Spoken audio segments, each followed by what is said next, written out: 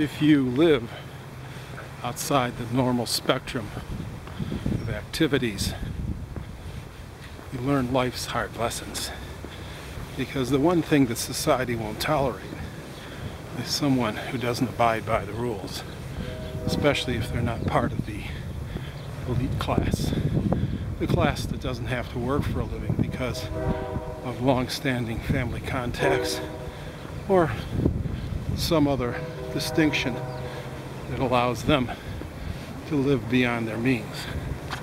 Unlike people like myself who basically were spoiled by their upbringing and now of course have to pay the price because to my way of thinking the most expensive thing one has in one's life is one's own time.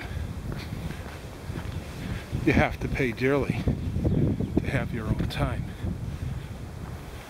Because otherwise, you end up selling yourself on the cheap to the nearest, most available bidder. And of course, if you ignore this and it becomes a matter of record, they really lay it to you.